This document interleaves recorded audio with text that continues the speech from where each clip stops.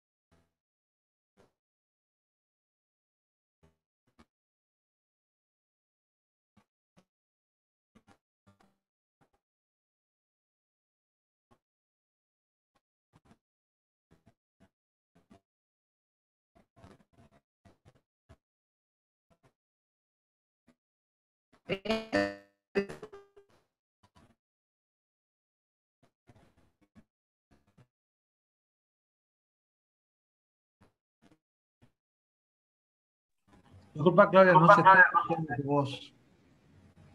¿Querés probar eh, bajando el, el, video para que si se escucha mejor el audio? ¿Se escucha ahí? Ahí se está escuchando. Listo. ¿Se ve la presentación? Se ve. Listo. Bueno, como había dicho el ingeniero, el tema de esta presentación son los extractos vegetales y el control biológico como estrategia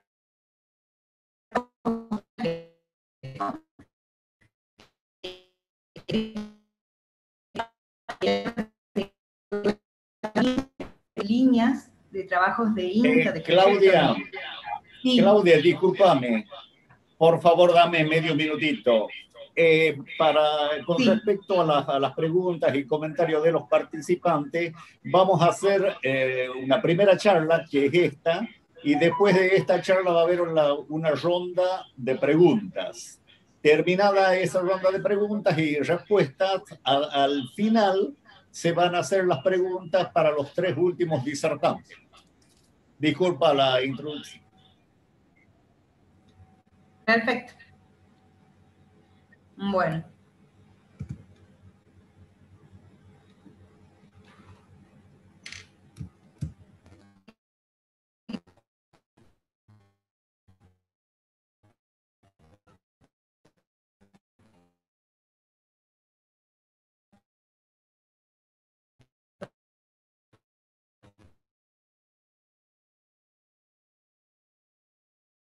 Es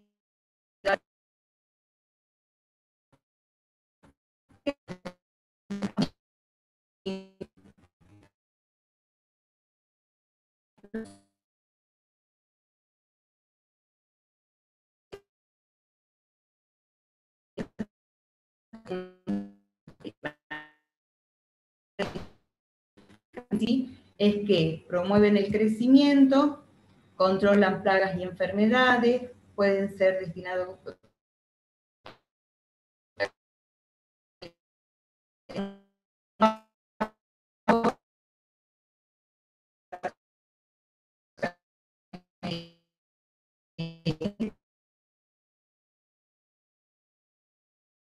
Estamos con problema de audio. No se escucha. ¿Ahí se escucha? Eso se escuchó, pero de lo que iniciaste la, la presentación no se escuchó nada. ¿Quieren que la vuelva para atrás? ¿Perdón? Cierra la cámara de video, a ver si ocupas menos.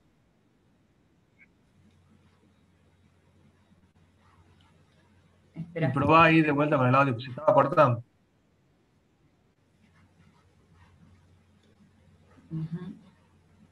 ¿Tengo que salir de la presentación? No. No, no, no, no. Apaga tu cámara.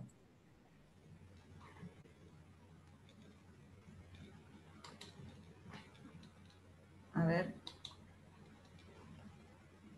Y aparte poner en modo presentación de nuevo. Sí, sí, aguántame dos segundos.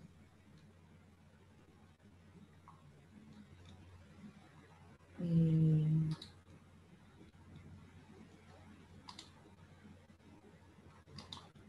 Ahí.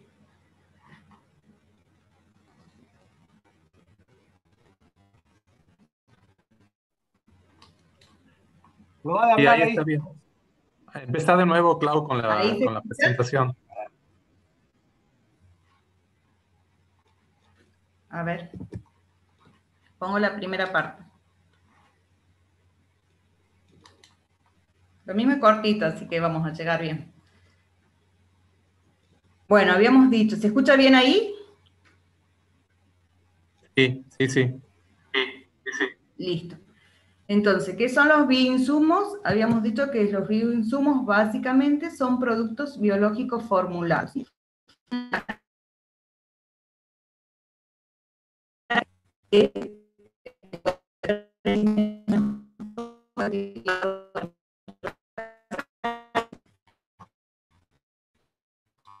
De producción sostenible, son económicamente rentables, apoyan el desarrollo de la persona de campo, cumple con los objetivos de la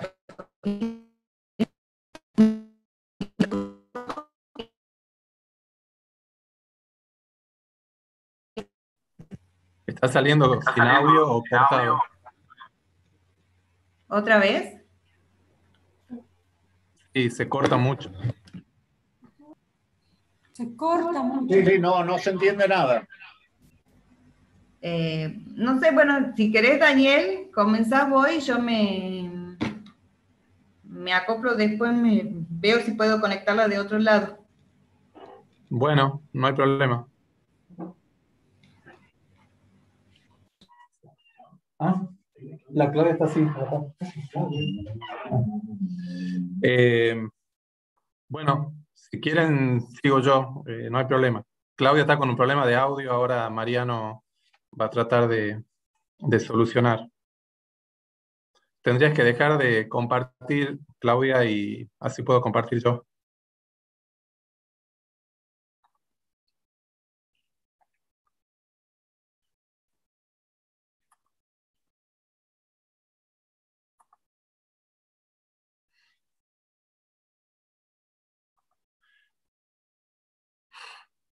Bueno, eh, arrancamos entonces con mi charla. Eh, muchas gracias, eh, Héctor, por, por, la presentación. bueno, esta charla se va a referir a los extractos vegetales como estrategias para el manejo de arañuela roja en, en frutilla. Es un trabajo conjunto entre el INTA, la Experimental de Famayá, y la Facultad de, Agronomía y Zootecnia de la, de la UNT. Eh, esto va a incluir eh, un temario consistente, primero vamos a ver la problemática de la arañuela roja en frutilla, los resultados de, los ensayos con, extractos vegetales de dos años, de 2019 y 2020, y las eh, conclusiones. Con respecto a la problemática del control de la arañuela roja en frutilla, sabemos que la arañuela roja es una de las plagas claves este, del cultivo de frutilla, una de las más importantes del mundo, del que causa entre un 25 y un 80% de cultivo. El aumento de la, temperatura global y los prolongados, prolongados periodos de sequía favorecen la reproducción y la expansión de la plaga. Eh, clásicamente, eh, esta plaga se ha controlado con, con plaguicidas de, síntesis química y el uso irracional de los mismos eh, genera resistencia en la plaga, la cual logra sortear la barrera del producto utilizado. Es decir, en poco tiempo estos productos dejan, dejan de ser eficaces para controlar la plaga, si no son usados de manera adecuada. Por otro lado, hay pocos acaricidas disponibles y con cortos tiempos de, carencia. Eh, sabemos que la frutilla es un cultivo que se, que se, cosecha en nuestra región prácticamente todos los días a partir de, fines de mayo, junio, y por ese motivo los productos para el control de cualquier este, plaga o enfermedad debe ser de, tiempo de carencia mínimo o cero. Por otro lado, cada vez son mayores las restricciones de los mercados sobre la presencia de residuos químicos en, frutas y hortalizas. Y hay una creciente preocupación por la salud de los trabajadores rurales. Además, hay una creciente conciencia sobre la contaminación de los recursos naturales, que comentó también recién eh, Mari Quinteros en la introducción, y el impacto negativo de los plaguicidas de síntesis sobre la biodiversidad. Además, eh, Argentina suscribió a los Objetivos de Desarrollo Sostenible de, la FAO, eh, lo cual implica este, reducir el impacto ambiental y especialmente sobre los recursos naturales y la biodiversidad para este, conservar y recuperar eh, el ambiente. En, frutilla, los daños por arañuela, bueno, son estos que estamos viendo acá en la foto. Eh, es una plaga que se alimenta del follaje, básicamente, se instala en, la cara este, abaxial de la hoja, abajo de la hoja, y allí este, se reproduce, este, pone, pone sus huevos y teje, teje una tela, como vemos en algunas de las fotos, y esa tela la protege y le permite trasladarse eh, entre las hojas. Produce esta, eh, digamos, clorosis por la, succión, digamos, de los líquidos celulares y, bueno, la hoja se va tornando clorótica o en algunos casos también adquiere un, color rojizo, lo cual debilita la planta y este, reduce la producción. Bueno, eh, en este marco, eh, nosotros a través de, los proyectos eh, institucionales estamos realizando una serie de ensayos con extractos vegetales. En este caso, estamos viendo los lotes experimentales de la estación experimental de, Fama y Ya. Trabajamos normalmente con la variedad San Andreas porque es la más susceptible a, a la arañuela roja, y eh, en el 2019 hicimos este, un ensayo consistente en utilizar un testigo eh, no químico, que fue eh, agua, abamectina como testigo químico, y un extracto vegetal derivado de la, de la industria del, del, limón, el cual fue aplicado en tres concentraciones. El mismo se, aplicó eh, tres veces eh, con, intervalos, acá están las fechas de, aplicación, intervalos de aproximadamente 10 días. Y este, la metodología es eh, previa, previa a, las aplicaciones, se hace un muestreo de, hojas, se extrae el folíolo central de, de la hoja de frutilla, muestras al azar, y este, se evalúa la, densidad de, arañuelas en, esos folíolos. Entonces, eso nos da el dato inicial del ensayo. Y después, previo a, a, las siguientes aplicaciones, se realiza el mismo muestreo y al final también del, ensayo. Entonces, esto nos va dando datos eh, de cómo va variando el, efecto de, los tratamientos en las poblaciones de arañuela. Acá a la, izquierda eh, vemos eh, la parte de abajo de una hoja de frutilla muy atacada por arañuela, cómo está este, descolorida, y vemos las formas móviles, los adultos, por ejemplo, de, arañuela, y vemos algunos huevos. ¿Mm? Bueno, en este ensayo eh, vimos que eh, en general todos los tratamientos eh, reducen las poblaciones de, arañuela. Acá, por ejemplo, las concentraciones más altas, que son el tratamiento 2 y el tratamiento 3, son las que al final del, ensayo dieron los valores más bajos de, de arañuela. Partieron con valores poblacionales eh, muy altos y este, se lograron eh, valores este, los más bajos, digamos. Por otro lado, bueno, el, químico, que es la abamectina, eh, también tuvo un buen desempeño, pero en, el último tramo del ensayo hubo un aumento de, la población y el agua este, también redujo las cantidades de, individuos en, los folíolos, pero también tendió a aumentar en la última etapa del, ensayo. Esto expresado de otra manera, acá eh, podemos ver la reducción de la población inicial de arañuela roja eh, a través de los tratamientos, causadas por los tratamientos. Entonces, tenemos que la abamectina eh, redujo la población inicial en un 25% el agua entre un 60 y un 70%, el tratamiento 1, o sea, la concentración más baja de este extracto vegetal, un valor este, muy parecido al agua, pero los tratamientos de mayor concentración, que figuran como T2 y T3, fueron los que redujeron la población inicial de arañuela en, entre un 90 y un 100%, es fueron los, más, eh, los tratamientos más eficaces.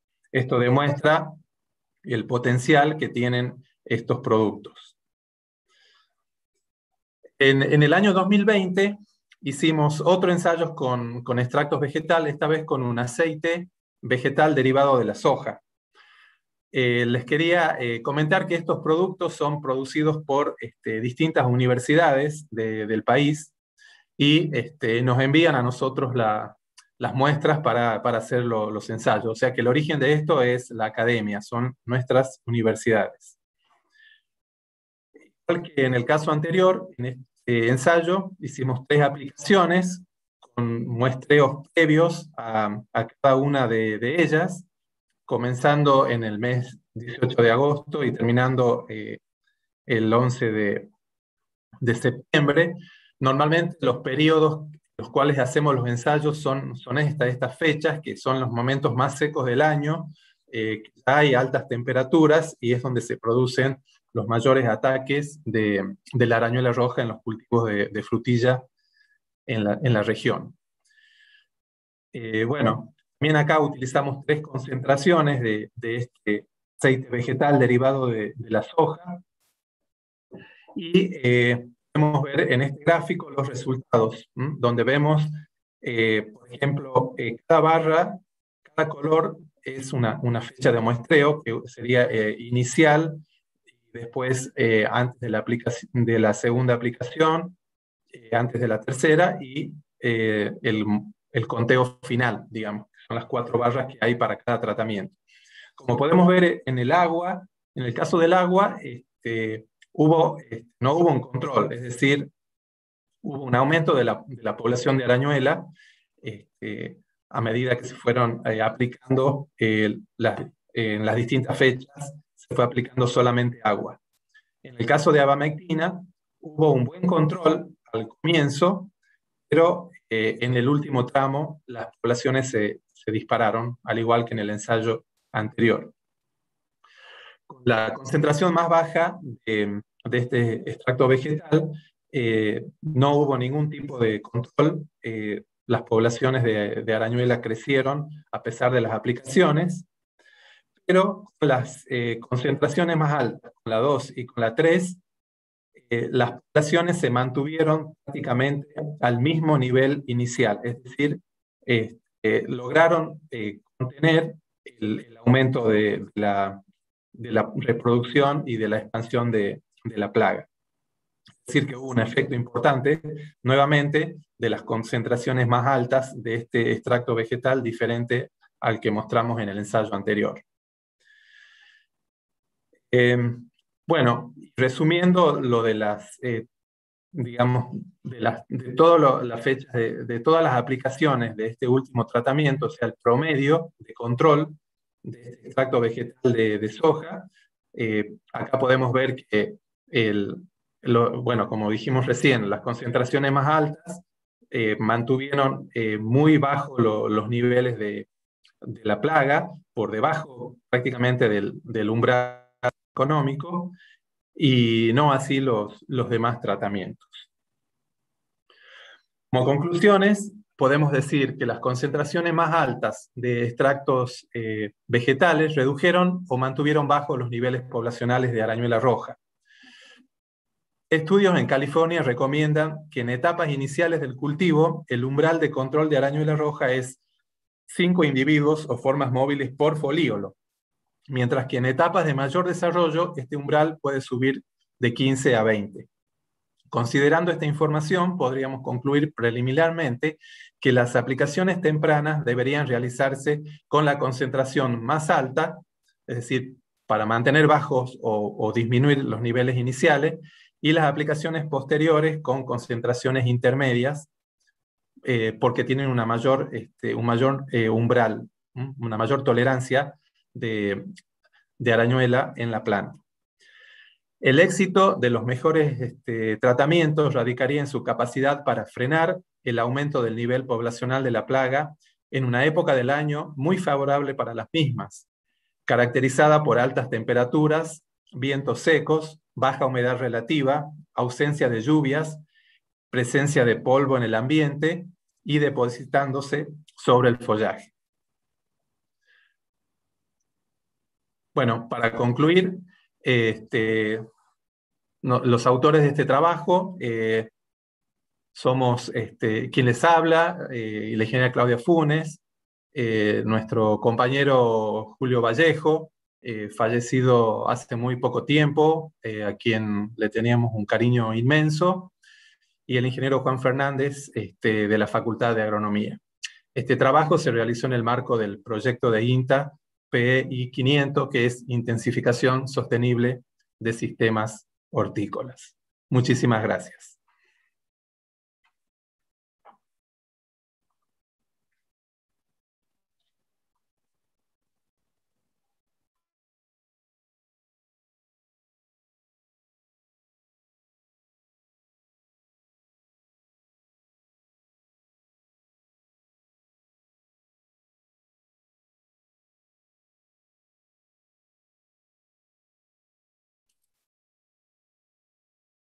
Seguimos con Claudia. ¿Habrá solucionado su problema? Sí, Héctor, ¿me escuchas? Bueno, te escuchamos. Listo, bueno, vamos a intentar nuevamente.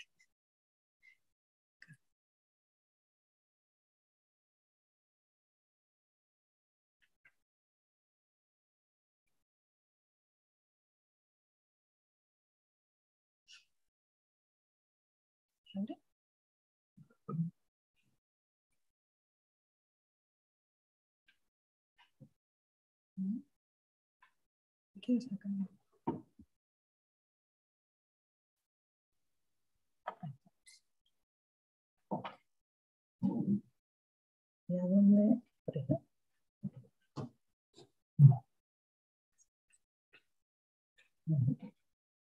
Bueno. Habíamos dicho, comenzando con la charla, nosotros, bueno, en esta charla tenemos un poco más de, de definiciones, porque la idea era que sea la primera, pero bueno, está, está asociada a lo que acaba de, indicar Daniel, ¿sí? Entonces, ¿qué son los bioinsumos?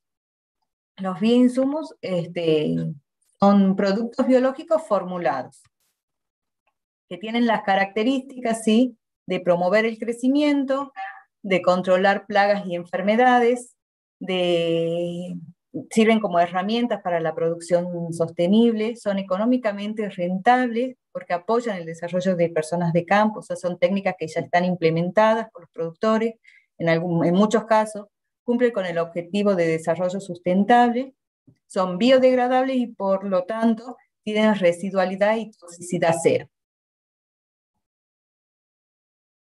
Dentro de los tipos de bioinsumos, podemos mencionar aquellos que proporcionan energía a partir de la biomasa residual, como ser el biodiesel, biocombustible o biometano. Tenemos los este, bioinsumos que generan biomateriales o enzimas industriales, de los cuales se logran productos a partir del aprovechamiento de metabolitos secundarios, como ser los termoplásticos biodegradables y polisacáridos para purificación, por ejemplo. Y también tenemos los bioinsumos agrícolas, que es en donde nos vamos a centrar en estas donde nos hemos centrado en estas charlas. Y dentro de los bioinsumos agrícolas tenemos eh, aquellos que se utilizan para control biológico, pesticidas, astrayentes y repelentes. Y eh, también tenemos los fertilizantes, promotores de crecimiento, solubilizadores y fijadores.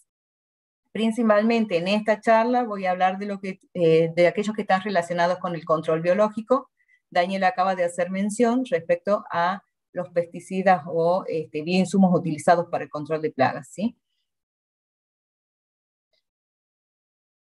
Bueno, habíamos dicho que este, entonces los bioinsumos son productos biológicos formulados. Estas formulaciones pueden estar dadas a bases de extractos vegetales o derivados de estos, como mencionó Daniel. También pueden ser microorganismos que están conformados a partir de hongos, bacterias y virus o macroorganismos este, que están este, desarrollados a partir de insectos y ácaros. En este último punto es donde me voy a centrar yo, que son las líneas de acciones que tenemos acá en INTA también. En los últimos años, la eficiencia de enemigos naturales para el control de plaga ha impulsado la producción comercial de agentes biológicos o bioinsumos, o sea, la cría masiva de muchos enemigos naturales para el control de plagas. A eso también se lo consideran bioinsumos. ¿sí? Dentro de los macroorganismos tenemos los ácaros y los insectos, y hay numerosos ejemplos de, estos bioinsumos. Tenemos dentro del de, orden Acaris tenemos depredadores de la familia Phytoseidae, eh, por ejemplo, neoseiulos y fitoseiulos, que son eh, especies de ácaros que se comercializa, que están presentes en nuestro sistema a nivel nacional y a nivel local y que hoy por hoy se comercializan en forma nacional. Ahí tenemos un ejemplo de cómo vienen los, los productos eh, comerciales. También tenemos eh, ejemplos de dípteros. Los dípteros, este, en este caso tenemos, puse como ejemplo, el dípteros de la familia Sirfide y Cesidómide son, los dípteros son, en este caso, en el caso de este, son pequeñas mosquitas, ¿sí? son muy, muy chiquititas, eh, cuya estado juvenil, o sea, la larva del díptero, es la que ejerce la acción de predación, al igual que en el caso de eh, los sírfidos. También, ya a nivel nacional, se los comercializa, ¿sí? se producen y se comercializan este, especies tanto de sírfidos como de cecidomi. También tenemos neurópteros, que pertenecen a la familia Crisópide, los crisópides son este, estos insectos pequeños de alas, eh, de, alas bien, con muchas nervaduras, como se puede observar en la foto inferior de la presentación, y lo que se comercializa, sí, eh, son generalmente la pupa o la larva, que es la que genera, la larva es la que genera el, el control de plaga, de numerosas plagas que están presentes en los cultivos frutihortícolas. Coleópteros, hay muchísimos casos conocidos a nivel mundial y nacional también de coleópteros predadores, o sea que contribuyen con el control de plagas eh, presentes en los cultivos. Y dentro de los hemípteros tenemos la familia Antecorides, que, en donde encontramos a Orios insidiosus. Orio es un predador que está presente y que ha sido estudiado acá a nivel local. Este, está presente en casi todos los sistemas hortícolas de nuestra, de nuestra provincia y en forma natural Así que también es importante saberlo porque porque el que esté presente es un buen dato para poder contribuir con su acción a través de eh, control biológico de tipo, por ejemplo, inundativo, o sea, aumentando las poblaciones de este individuo. Esta especie también se comercializa a nivel nacional. Bueno, y como último grupo dentro del control biológico tenemos los parasitoides. Avispa parasitoide, existen diferentes familias, yo acá agregué solamente cuatro. Están casos típicos de afelínide, que son los parasitoides de pulgones. Eh, en la foto inferior está el parasitoide eh, con el pulgón y en la foto de la derecha inferior se puede observar los pulgones parasitados, que quedan de un color este, más oscuro, de mayor tamaño y se inmovilizan totalmente. Hay muy buen control natural en base a los parasitoides, o sea que naturalmente están en el sistema y los pulgones en nuestra región tienen muy buen control natural. Las otras tres familias son familias de, este, de avispas parasitoides, de moscas de los frutos y estas las puse porque hay una línea nueva dentro de las líneas de investigación de INTA que está relacionada con una plaga llamada Drosophila suzuki, que es la mosquita esta que está a mano izquierda, que es la mosca de las alas manchadas, este, que es una plaga exótica relativamente nueva a nivel nacional y a nivel mundial apareció hace un par de años y que de las cuales hay varias líneas de investigación relacionadas con ella y dentro de estas líneas de investigación se está evaluando el tema de parasitoides. Existen poco conocimiento sobre la biodiversidad, aunque el volumen de las investigaciones realizadas para obtener nuevos agentes de control ha crecido en estos últimos años, el número de especies que actualmente se utilizan este, como bioinsumo es todavía reducido, modesto. Entonces, por eso es que nosotros, desde nuestras líneas de investigación, este, se sigue evaluando cuál es la fauna benéfica presente en el sistema y si es dentro de esta fauna benéfica, existen especies que se pueden que se puede que se puede utilizar como un insumo más y desarrollar a nivel de, cría y proponerlo como, eh, como enemigos naturales para el control masivo de plagas agrícolas. Dentro del cultivo de frutilla, ¿sí? una de las líneas que, eh, que, tenemos actualmente en actividad es la línea de trabajo focalizada en los aportes para el manejo y control de plagas clave y emergentes eh, con tecnología de bajo impacto ambiental. Eh, Daniel dio hace rato un panorama de lo que se está haciendo en relación a lo que son los bioinsumos, ¿sí? Nosotros lo que hacemos también es estudiarla, como bien dijo Daniel, la plaga y enemigos naturales. Paralelamente se va estudiando el comportamiento de la plaga y todo lo que son enemigos naturales presentes en el agroecosistema.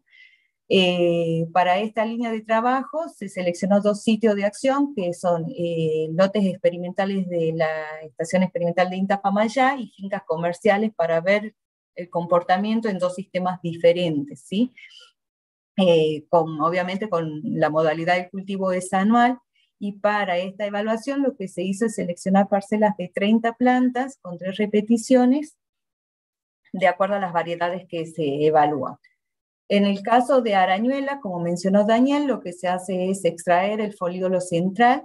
Estos folíolos se llevan, se etiquetan en bolsas y se llevan al laboratorio en donde se observan bajo lupa y se evalúa cuánto es el nivel de infestación de los folíolos, la abundancia o cantidad de, este, de organismos perjudiciales, ya sea arañuelas, pulgones o trips, y este, la presencia y abundancia de eh, enemigos naturales. Esta gráfica representa eh, la abundancia de, de, de, plagas quitófagas presentes en el cultivo de frutilla en los ensayos de la EAFAMAYA para el 2020. ¿sí? Esto es un ensayo, es un lote varietal, entonces lo que se indica el eje de inferior está la respuesta de las variedades frente a las distintas plagas presentes en el cultivo. Como se puede ver en esta gráfica, durante los primeros meses del año se tiene un complejo de plagas en donde podemos, eh, básicamente encontramos a Tetranicos urtice, que es la arañuela roja, también encontramos complejos de pulgones y trips. Dentro de los trips, identificado a Caliotrifacioli y, eh, y Neoidatotrix. Estos se encuentran en hojas principalmente, ¿sí? por eso es que aparecen en esta primera etapa eh, del cultivo. A partir de septiembre en adelante, este, la que predomina es la arañuela roja, por eso es la plaga clave del cultivo y es en la que se centra básicamente eh, el control, porque en realidad en el caso de los pulgones, eh, como habíamos dicho anteriormente, los pulgones tienen muy buen control natural por parasitoides, entonces rara vez eh, necesitamos aplicar control, controlarlo, digamos, con productos a, a, esta, a estos organismos. Claudia, te quedan tres minutos. Listo. Bueno, eh, voy más rápido entonces. Eh, dentro de los organismos benéficos encontrados en este ensayo se identificaron Feltiela curtistilo, que es este díptero, es un díptero eh, de, la familia Cecidomide, se encontraron acá los fitófagos, principalmente Neoseiulus californicus, Crisopas y Orius, que les comenté hace rato en fotos anteriores. Eh, dentro de esta fauna benéfica, el que más predominó fue Feltiera curtistilus, ¿sí? Eh, que es la especie sobre la cual estamos también llevando uh, una línea de investigación, ya que Feltiela fue identificada por el grupo de trabajo hace un par de años, por primera vez acá en la Argentina. Y el género Feltiela es bastante específico, tiene una gran especificidad para controlar arañuelas rojas. Entonces, las evaluaciones están en una etapa inicial en donde se está identificando eh, los distintos estados de desarrollo de, este predador, ¿sí? Y se pudo mm, caracterizar estos estados de desarrollo y ver que el, predador está presente en el cultivo desde etapa de huevo hasta etapa de adulto. Otra línea de trabajo está relacionada a los sírfidos o dípteros predadores, también en donde las larvas este, se alimentan de varias especies plagas del cultivo de frutilla, esta línea de trabajo se hace a través, eh, se hace tanto en la EA Famayá como en campos comerciales de Lule, se trabaja con trampas McFay, que son esa, la imagen que está a la izquierda superior. Se ha logrado identificar en esta línea de trabajo varias, eh, dos familias con 10 géneros y varios individuos dentro de estos géneros. En, la, en el gráfico de torta de la parte inferior izquierda, se, está indicado los porcentajes de especies de, de sírfidos, pero principalmente nos hemos centrado en, el estudio de alografta exótica.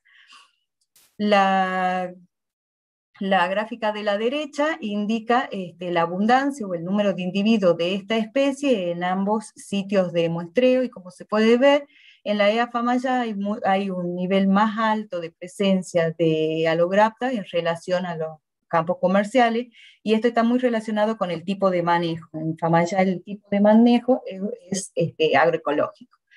Esto también, bueno, era como para que lo conozcan, estos son los estados de desarrollo de este, de este díptero, ¿sí? Y acá lo importante es que puedan ver que el adulto es muy semejante a, un, a una abejita, solo que tiene dos alas a diferencia de, de la abeja que presenta cuatro pares de alas.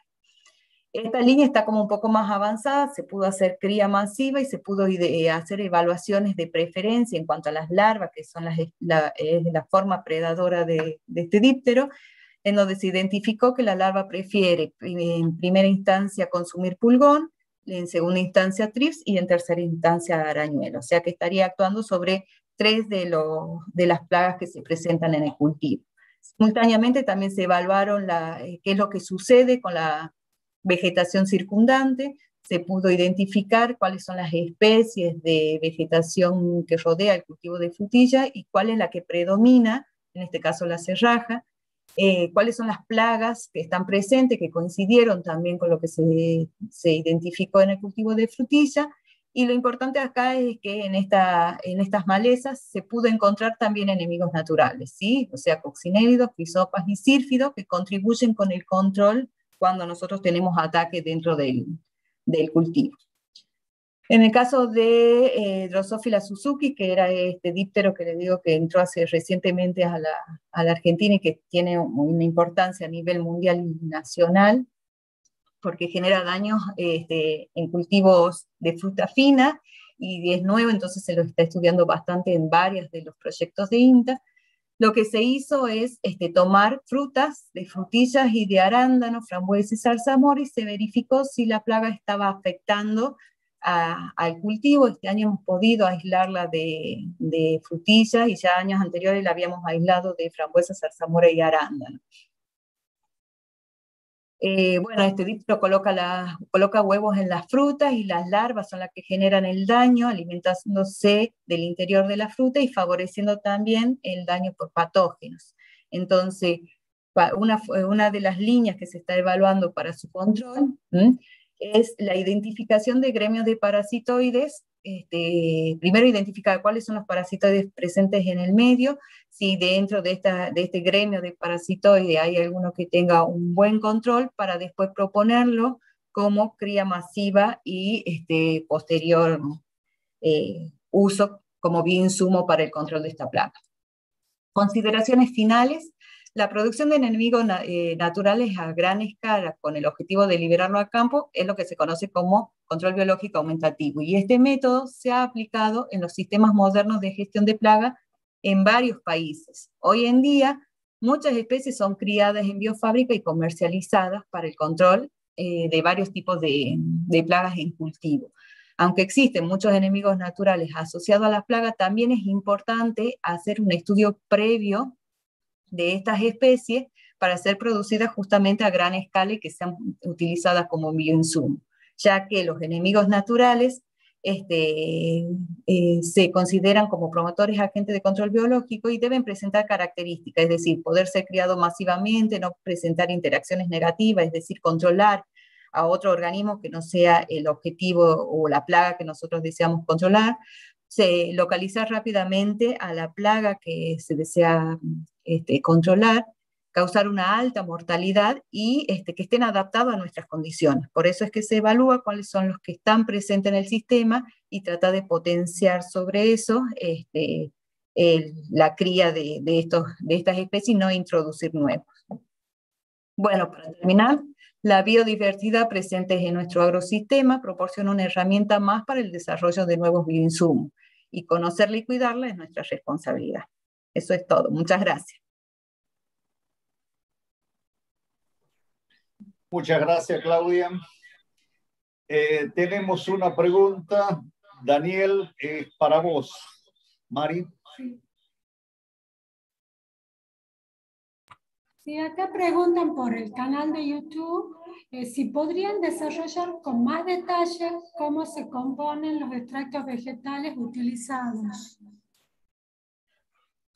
Eh, no, no, no, no podemos porque, digamos, son productos que están en formulación, no son nuestros, eh, son de, de las universidades, distintas universidades que los están trabajando, y hasta que no los registren a los productos, este, ni nosotros conocemos eh, cuál es la composición. Sabemos que uno es de, la, derivado de la, de la industria del limón, de acá de Tucumán, y el otro es de la, de la soja eh, de Santa Fe.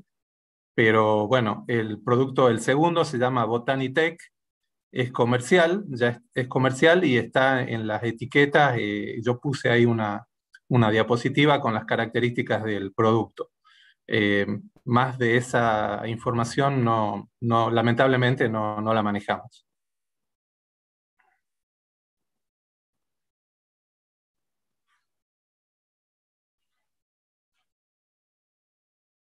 ¿Alguna otra pregunta para continuar con las presentaciones? Bueno, no tenemos otra pregunta en el chat. las preguntas en realidad deberían ser a través del chat. Al no haber ninguna otra, continuamos con la siguiente exposición acá a cargo de la doctora Emil Sembiruel, eh, quien se referirá a la microbiología del suelo en sistemas ganaderos del NOVA. Emilce es eh, licenciada en biotecnología y doctora en ciencias biológicas, ambos títulos otorgados por la Universidad Nacional de Tucumán.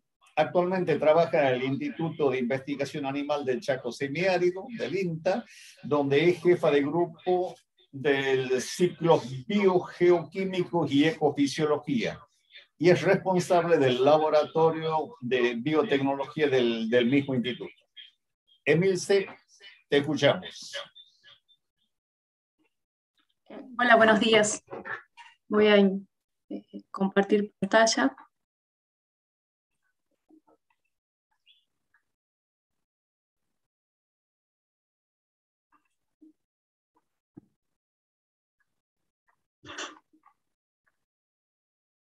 ¿Se ve bien?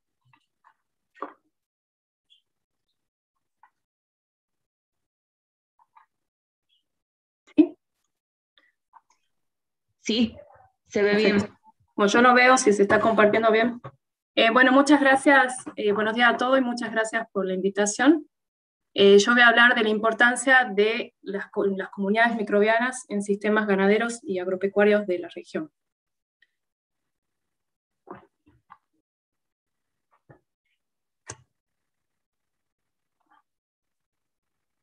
No, sé, ¿qué me está pasando?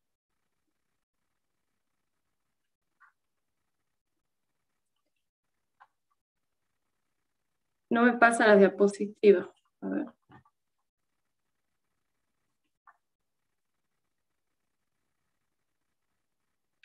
No pasa la diapositiva, ¿no?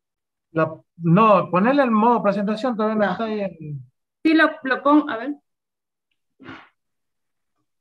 Con el loguito lo pongo, pero no, ahí está, ahí está. Listo. Perdón. Eh, cuando hablamos de sistemas agropecuarios tenemos que tener en cuenta eh, distintos factores, factores medioambientales, vegetales y factores edáficos. Estos factores, dentro de los factores ambientales se encuentran las precipitaciones, la luz, la temperatura. En los factores vegetales hay que tener en cuenta la genética de, del cultivo, el sistema inmune, el estadio de la planta, pero principalmente también la morfología de la raíz y la composición de los exudados radicales, ya que es en el entorno de la raíz donde se producen las interacciones microbianas. Eh, además, los factores edáficos hay que tener en cuenta los ciclos biogeoquímicos, la biogeografía, los nutrientes del suelo, principalmente los macronutrientes como carbono, nitrógeno y fósforo, eh, y propiedades intrínsecas del suelo como el pH, la humedad y otras propiedades. El hombre eh, genera a través de las prácticas agronómicas efectos sobre esos sistemas, eh, por ejemplo, en la elección del cultivo, las rotaciones, eh, la elección del cultivo en sí, en, el cultivo productivo, en la producción animal, en la genética del animal, en la carga animal en esos sistemas, y el uso de agroquímicos como fertilizantes y pesticidas. Estas actividades tienen un efecto sobre el sistema y el, el grado de eh, la interacción el grado del, efecto va a depender de la toma de decisiones del sistema. El suelo es el sustrato donde se realiza la interacción entre los microorganismos y las plantas. Está formado principalmente por minerales, agua y aire y en distintos porcentajes según el tipo de suelo con materia orgánica. Dentro de la materia orgánica se encuentran los seres vivos. Estos se organizan según su tamaño y según su función dentro del suelo. Eh, cada uno tiene una función específica eh, de manera de que se den todos los procesos biológicos y que permita que el suelo sea productivo. Nosotros nos centramos en el estudio de los microorganismos del suelo, a diferencia de los macro y meso, de la macro y mesofauna. Eh, nos concentramos en la microfauna, compuesta por bacterias, hongos, cianobacterias, actinomicetes, protozoos y algas. En distintas proporciones se encuentran estos, tipos de, estos grupos microbianos que conforman comunidades microbianas, trabajan en conjunto eh, y están a cargo de distintos procesos dentro del suelo. Regulan los flujos de materia y energía, eh, están implicados en los procesos de descomposición del material vegetal y esto es muy importante en el ciclado de nutrientes, el ciclo de nitrógeno, el carbono, el fósforo y otros micronutrientes. Eh, es muy importante su, la, actividad de estos microorganismos en forma conjunta. También eh, están involucrados en el mantenimiento de la estructura edáfica, en la formación del humus en particular, mejoran la aireación, agregación e infiltración del agua del suelo, aumenta la biodisponibilidad de nutrientes y ahí entran también las bacterias promotoras del crecimiento como eh, fijadores de nitrógeno, solvizadores de fosfato, de tal manera que eh, ponen más disponibles los nutrientes en el suelo para las plantas. eh, tienen un efecto protector, ya que degradan sustancias tóxicas, y esto lo hacen a través de interacciones intra e interespecíficas. Entonces, em, en conjunto, estas comunidades tienen distintas funciones. Eh, dentro de ellos se encuentran fijadores, promotores, organismos descomponedores, secuestradores, mineralizadores y fundamentalmente eh, recicladores. ¿sí? Conocer cómo interactúa estos microorganismos con el medio ambiente y su función tanto en forma individual como dentro de las comunidades, nos da herramientas para poder intensificar el sistema sin perder este tipo de funciones. Eh, entonces, el suelo, un suelo saludable eh, permite una interacción simbiótica entre las comunidades microbianas y los componentes vegetales, la planta. Eh, mantener la salud edáfica es indispensable para, obviamente, mantener el sistema productivo. Esto se hace a través de buenas prácticas agronómicas, entre las que se incluyen el manejo integrado de plagas y enfermedades, como vimos recién, el uso de biocontroladores. Es importante la rotación de cultivos por el ingreso de distintos eh, tipos de, de nutrientes al sistema, un control fitosanitario responsable, la utilización de cultivo de cobertura no solo en, los sistemas agrícolas, sino también ganaderos, eh, y evitar un suelo desnudo. La utilización eficiente de fertilizantes, aquí podemos incorporar las bacterias PGPR, eh, solvizadoras de fosfato, fijadoras de nitrógeno, para tratar de disminuir el uso de agroquímicos. En los sistemas ganaderos, un manejo animal, eh, manejar la carga y la genética animal, eh, se ha avanzado mucho sobre el mejoramiento genético animal.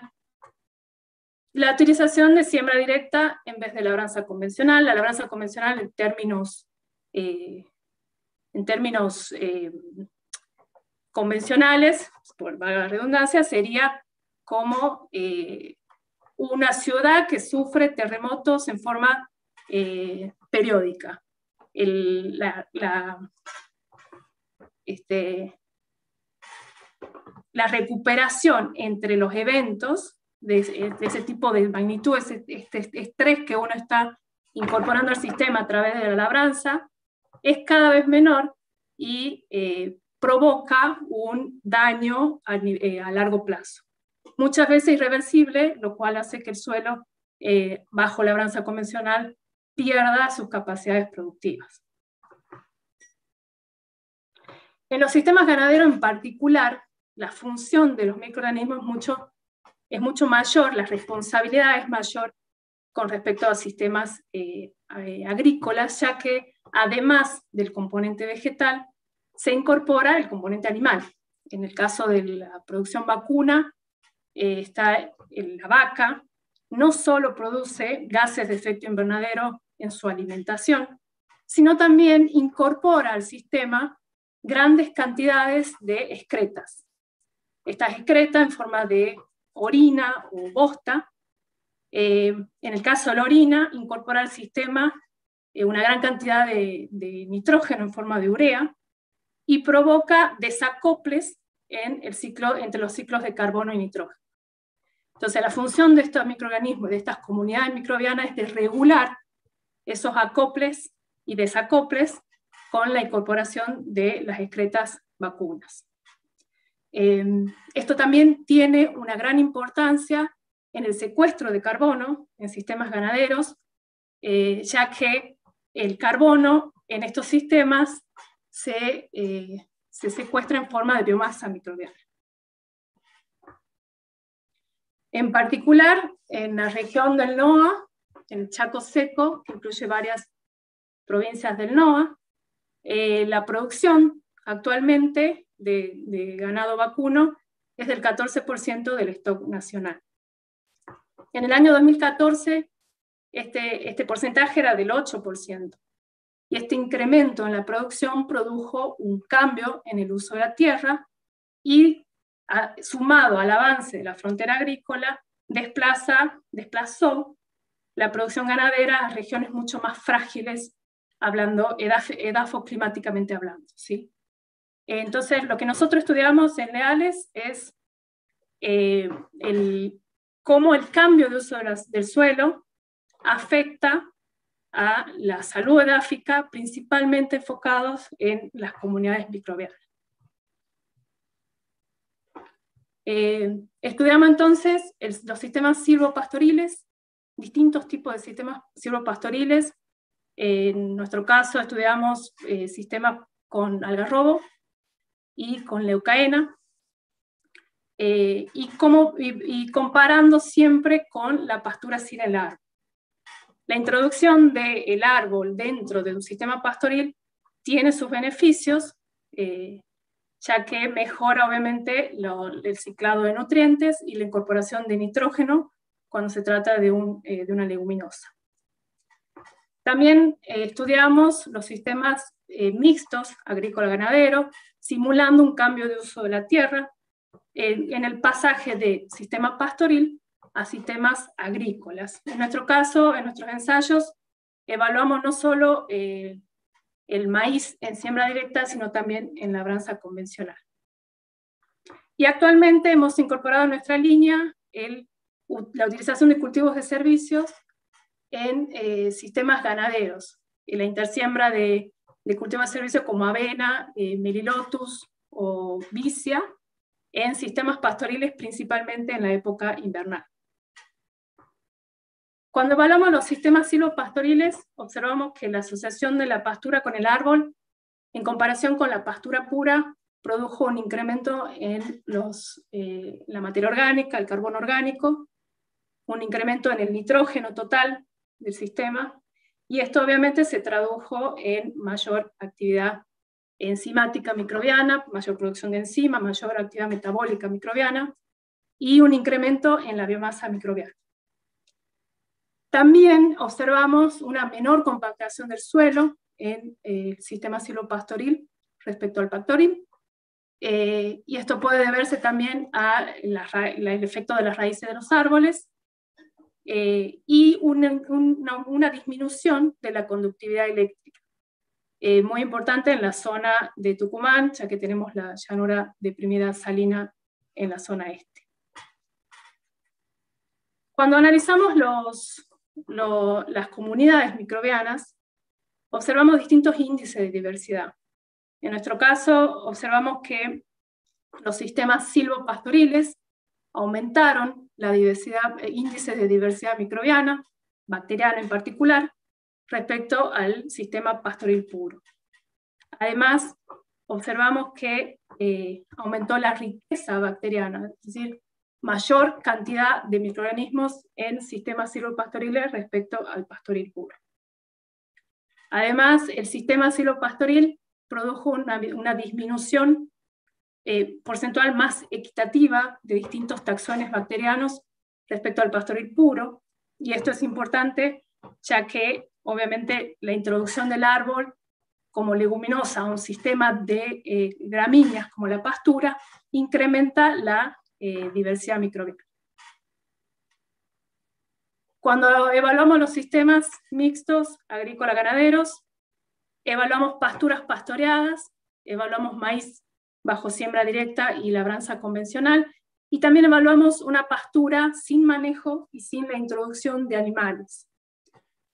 Observamos en este caso que la pastura pastoreada respecto a los otros tratamientos aumentó el contenido de materia orgánica, el contenido de nitrógeno, las, nuevamente la actividad microbiana fue mayor, la biomasa microbiana también, y también produjo una disminución eh, a la mitad con respecto a los sistemas eh, agrícolas de la conductividad eléctrica. Cuando evaluamos entonces las diversidades microbianas, observamos que el sistema pastoril mostró una mayor diversidad bacteriana, también mostró una mayor riqueza bacteriana y esto en particular el sistema de maíz bajo siembra directa se, eh, fue más semejante al sistema pastoril respecto a los sistemas de eh, labranza convencional. Lo que nos llamó la atención, en realidad no nos sorprendió, pero sí nos llamó la atención, son los resultados de la exclusión de la pastura. Una pastura que lleva más de 10 años sin intervención, sin manejo y sin ingreso animal, eh, mostró una baja, bajos índices de diversidad microbiana. Esto también fue chequeado con, cuando evaluamos la distribución porcentual de distintos taxones bacterianos, observamos que si bien el sistema pastoril, pastoreado fue el que mejor distribución porcentual tuvo, más equitativo, respecto a los sistemas agrícolas, se observó en, la exclusión de la pastura un aumento de determinados grupos bacterianos en, eh, en detrimento de los otros. Esto eh, corrobora de que un buen manejo del sistema con una, incorporación diversa de nutrientes mejora la eh, diversidad microbiana. Es muy importante mantener este, este tipo de ingresos eh, y, un buen manejo para eh, mantener la salud del suelo también. para terminar, me quedo con una frase del doctor Luis Wall, en donde asegura que la biología bien considerada es una gran aliada para la producción y tener en cuenta la biología como parte del sistema agropecuario es una elección muy inteligente a futuro. Esto, más allá del uso, si se usa, eh, ya sea usando bioinoculantes, biofertilizantes, bioinsumos en particular, o a través de buenas prácticas agropecuarias, eh, la salud del suelo es importante, mantener la diversidad eh, de los microorganismos es indispensable para mantener un suelo sano y obviamente mantener la productividad de los sistemas agropecuarios. Eh, nada más. Muchas gracias. Muchas gracias, Emilce. Vamos a las preguntas de esta charla van hacia el final, así que vamos a continuar con la próxima, que la próxima charla que estará a cargo de la doctora Carolina Pérez Brandán, quien nos va a hablar sobre manejo de coberturas y del suelo para mejorar su calidad biológica. Carolina es licenciada en Ciencias Biológicas por la Universidad Nacional de Salta, magíster en Producción Vegetal con un orientación, protección vegetal en la Facultad de Agronomía de la Universidad de Buenos Aires y doctora en Ciencias Agropecuarias de la Universidad Nacional de Córdoba. Actualmente se desempeña como investigadora en el Grupo de Recursos Naturales de la, de la Experimental Salta. Es responsable del Laboratorio de Suelos, Agua y Fertilizante y del Laboratorio de Microbiología Agrícola. Adelante, Carolina tu turno. Bueno, muchas gracias, buen día a todos y muchas gracias Mari por la invitación. Em, bueno, yo voy a, a ver, voy a compartir la pantalla. Me dicen por favor si está bien, si la pueden ver.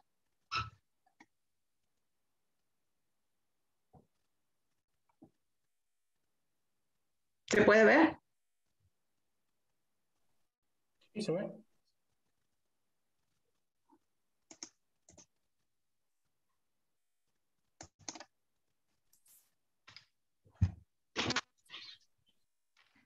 A ver, ahí está.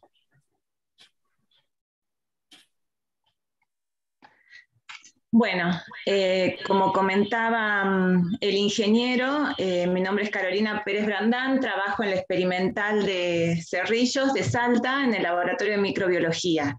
Voy a contarles eh, un tema de investigación que venimos desarrollando desde el ámbito de la microbiología de suelos y en relación a los cultivos de servicio y la dinámica que tienen los microbiomas en, en el suelo en particular en un sistema degradado, en, un suelo degradado donde se hacía monocultivo eh, de poroto. Eh, bueno, primeramente, eh, como, bueno, como lo venía anticipando Emilce, tenemos que saber qué es el, el suelo y su biología. bueno, como todos saben, el suelo es la parte superficial de la corteza terrestre biológicamente activa que proviene de la desintegración o alteración química de las rocas y residuos. Allí se encuentra la mayor reserva de biodiversidad del planeta que vive en el suelo debajo de la superficie de la Tierra y la que vive por encima de la superficie de lo, y que se alimenta de lo que crece y se desarrolla desde y en el suelo. Es decir, que en un gramo de suelo, eh, bien lo sabemos y ya es conocido este término, eh, podemos encontrar 10.000 millones de procariotas entre bacterias y arqueas y entre 100 y 200 metros eh, de hifas de hongos. O sea que en, toda la, esta superficie de, suelo que encontramos eh, tenemos micorrizas, hongos descomponedores, bacterias, arqueas, protistas, nematos, lombrices, hormigas. O sea, una gran diversidad de mesofauna, microfauna que podemos encontrar allí. Eh, bueno, ¿cuáles son las funciones del suelo? Los suelos nos aportan servicios ecosistémicos que permiten la vida en la Tierra, ya sea como hábitat eh, para organismos, secuestro de carbono, intervienen en la purificación del agua, reducción de contaminantes, en la regulación del clima, en el ciclo de nutrientes y en un montón de, suministro de, alimentos y de, servicios que nos puede eh, brindar el suelo. bueno, cuando hablamos de microbiología, hay un término actualmente que está en boga, que es el uso de los o el empleo del término microbioma. Pero, ¿qué es un microbioma? El microbioma se describe o describe a todos los microorganismos que se pueden encontrar en el suelo, como arquea, bacterias, virus, hongos, protistas y otros eucariotas microbianos. Los microbiomas entonces son todos los microorganismos, sus genes y eh, que habitan en un determinado ambiente. Eso hace que haya una diversidad eh, de microorganismos que habitan en el planeta y una diversidad enorme de microbiomas en muestras ambientales similares. Es decir, que diferentes em, tipos eh, de planta van a tener su microbioma asociado a las raíces, su microbioma particular. Entonces, ¿por qué? Porque cada planta exuda un particular em, perfil de sustancias Em, exudados que va a permitir que colonice un determinado grupo de microorganismos.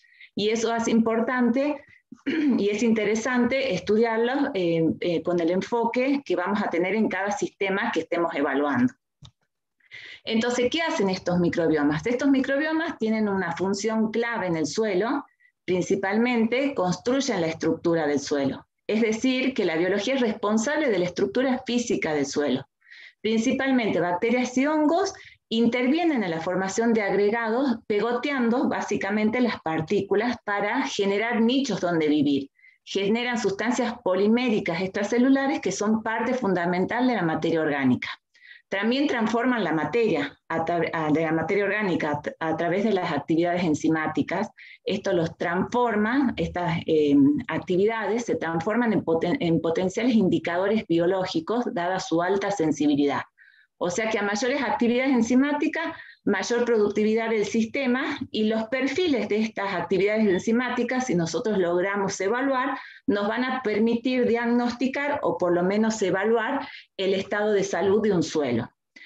También intervienen, y esto es un, em, punto muy importante a tener en cuenta, y se, relaciona un poco a lo que decía Milce en, su, en la presentación final eh, donde hablaba sobre el, concepto o el, cambio de paradigma que tenemos que tener acerca de lo que es la biología del suelo, es que eh, los microorganismos generan redes de interacción. La diversidad de microorganismos que componen la biología del suelo generan redes tróficas y redes de interacción. ¿Qué quiere decir? Que están continuamente comunicándose. Esa red nos da cuenta de la cooperatividad en el desarrollo de las funciones del sistema. Eh, que tienen estos microorganismos en la comunidad. Este comportamiento colectivo se verifica en el conjunto del bioma del suelo, en el conjunto de, las interacciones que se dan.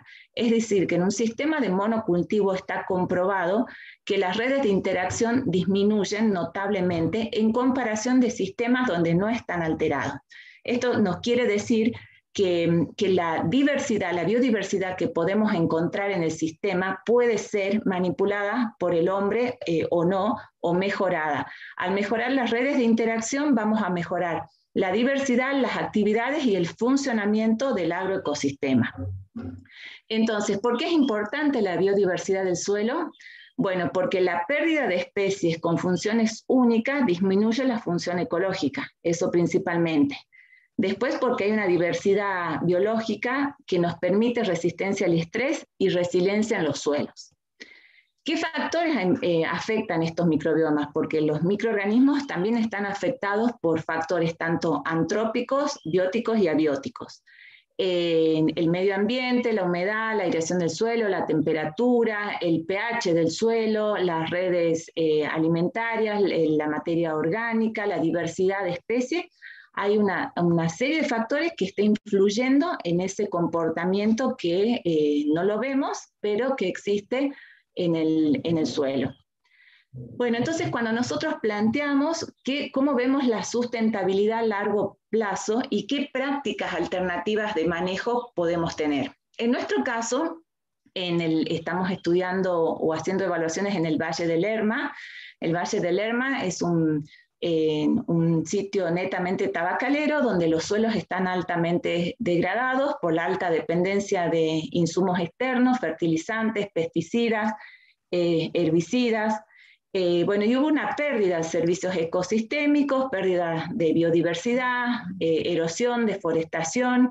Entonces, queremos ver qué pasa con prácticas de alternativa, prácticas de manejo alternativas, como la incorporación de cultivos de servicio, Em, que nos permiten ver cómo eh, optimizar, conservar, restaurar los servicios ambientales de este eh, suelo. Bueno, entonces, ¿cuál fue nuestro eh, principal objetivo? Proporcionar bases de conocimiento acerca de la estructura y función de los microbiomas del suelo y su relación con la intensificación de los sistemas agrícolas. ¿Qué esperamos a partir de eso? ¿Qué es lo que queremos ver? Queremos incrementar, favorecer, promover la diversidad microbiana del suelo en interrelación con variables físicas y químicas edáficas a partir de la inclusión de buenas prácticas agrícolas. Bueno, el objetivo, acá yo les voy a presentar eh, un resumen de las actividades eh, de uno de los trabajos que estamos realizando, el objetivo eh, fue estudiar el efecto de una pastura tropical, braquiaria brisanta, eh, comparada con maíz como cultivos de servicio, eh, en un sistema degradado de monocultivo de poroto. ¿Qué queríamos hacer? Analizar las relaciones que existen entre la actividad microbiana, las propiedades químicas y físicas que ya se venían evaluando y su relación con incidencia de enfermedades de suelo en el cultivo de poroto en diferentes periodos de inclusión de este pasto tropical y de maíz. Entonces, eh, bueno, acá les muestro eh, la estación experimental, donde está ubicada en Cerrillos. No sé si pueden ver aquí, en el recuadro amarillo, eh, les presento dónde se ubicó el ensayo. El sitio de estudio fue en la experimental de Salta, el periodo de evaluación fue del 2010 al 2016, donde se hicieron dos evaluaciones. Bueno, acá ciertas características que, tenía, que tiene el suelo. Es un suelo degradado que viene de 50 años de monocultivo principalmente de tabaco con una labranza muy intensiva. Eh, bueno, ¿qué es lo que buscamos? Eh, eh, realizamos un diseño en bloques completos al azar con tres repeticiones en este lugar. Lo que diseñamos fueron estos tratamientos que ustedes ven aquí. Incorporamos, se, se, sembró braquiaria brisanta, Em, y los tratamientos fueron estos, en donde teníamos un año, un ciclo con braquiaria, después se secó y se, se sembró poroto el poroto común. Eh, después se realizaron dos años consecutivos de braquiaria, se secó y se sembró poroto.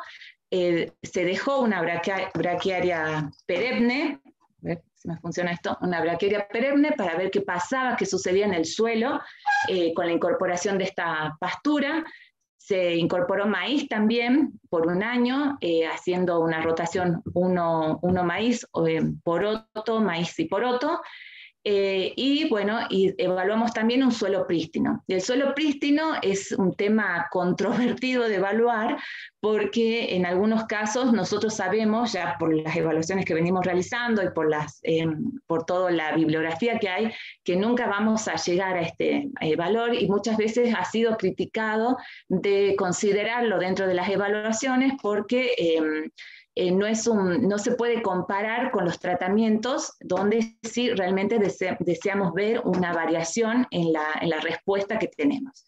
Acá, eh, como ven, puse, todos los, cultivos, como se fueron dando en todos estos años. Hicimos una primera evaluación al inicio del, ciclo del poroto y una segunda evaluación ya al final en, hacia la siembra, de, hacia la cosecha de poroto en abril-mayo de eh, pasando eh, los seis años de experimentación para ver qué efecto tenía en el tiempo eh, la incorporación de esta pastura. Bueno, acá les voy a mostrar algunas fotos donde se ve la braquiaria, que está braquiaria y el poroto, que rebrotaba en, en verano con las lluvias después de la siembra de poroto. Acá tenemos dos ciclos de braquiaria y el poroto arriba, eh, acá tenemos la braquiaria perenne, a la cual nunca se secó, se la dejó que crezca libremente, sin, sin, ningún tratamiento, ni obviamente ni fertilización, ni aplicación de ningún agroquímico. Ustedes verán la abundante cobertura que se observa en este sector. Eh, a ver. Acá tenemos otra foto donde eh, tenemos el maíz, después se hizo sobre la cobertura del maíz, se hizo poroto, y el poroto común que nos sirvió como un, me olvidé de comentarles, como un control eh, negativo en este caso, nosotros lo llamamos control negativo porque lo mismo no se hacía sobre eh, una siembra directa, sino que directamente se labraba la tierra y se sembraba el poroto y bueno, con las siguientes incorporaciones y labranzas. Eh, bueno, entonces, ¿qué hicimos nosotros? Bueno, muestreo de suelo en esas situaciones que, les comenté. Eh, tomamos, en, cuanto al suelo, eh, para los análisis biológicos, tomamos suelo rizoférico, que el suelo rizoférico lo consideramos como el suelo levemente adherido a las raíces, no el suelo circundante a las raíces, sino el suelo que estaba adherido a esa raíz por eso tuvimos que hacer un muestreo especial, sacar la, la, tierra que estaba adherida a esas a esas raíces y llevarlas al laboratorio. También se hizo un análisis químico, físico, y bueno, estos son los, eh, las determinaciones químicas, físicas y biológicas que realizamos en laboratorio. Se las puse aquí como para que vean que dentro de los parámetros químicos y físicos realizamos los clásicos que se realizan en un análisis de fertilidad, a esos que ya se venía teniendo muchísima información, le incorporamos todo esto, todo lo biológico, de los cuales hicimos actividades enzimáticas como actividad deshidrogenasa, actividad fosfatasa, eh, actividad hidrólisis de diacetato de fluoresceína, como para abarcar eh, algunos de los ciclos biogeoquímicos. También incorporamos carbono de la biomasa microbiana, respiración microbiana, glomandina relacionada a las a las, eh, a las proteínas del suelo, quisimos incorporar esta variable porque queríamos ver, qué, como partíamos de un suelo sumamente degradado, queríamos ver qué relación tenía con la estabilidad de agregados del suelo y con la glomalina, que es una glicoproteína que producen las micorrizas y que contribuye, es uno de los componentes que contribuye a la agregación del suelo. Entonces, una respuesta interesante era ver qué relación teníamos con este parámetro. También realizamos el recuento de potenciales agentes de, biocontrol, principalmente tricoderma glyclidium y actinomycetes. ¿Por qué? Porque lo relacionábamos con, el, em, con la incidencia de enfermedades fúngicas en suelo.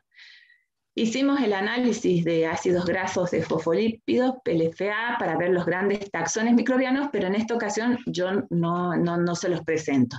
Y finalmente, eh, bueno, como en toda evaluación, eh, comparamos o correlacionamos con el rendimiento del cultivo, de poroto en este caso, que era nuestro cultivo de renta.